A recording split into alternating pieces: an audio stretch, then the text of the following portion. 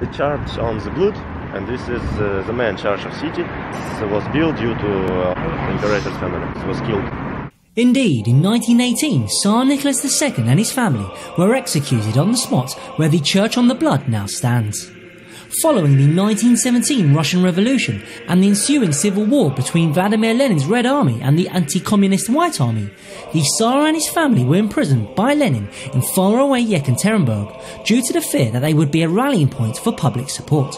With the White Army advancing, secret orders were given to execute the family. Taken to the basement, Tsar Nicholas and his wife Alexandra died immediately by gunshot.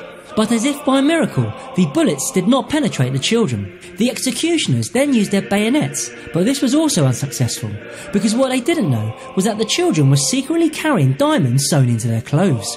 Finally, with gunshots to the head, Russia's royal family were no more, and the bodies were immediately taken to the forest in the area called Ganina Yama.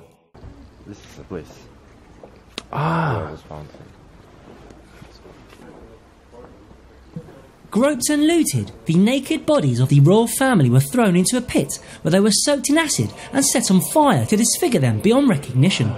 A few days later, an official statement declared that by the order of local leaders, the Tsar had been executed, but the family had been sent to a safe place.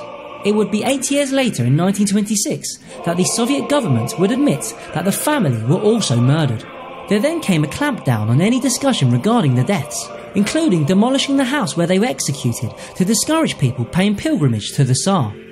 And it wasn't until the end of the Soviet Union in 1989 that the murders were discussed openly.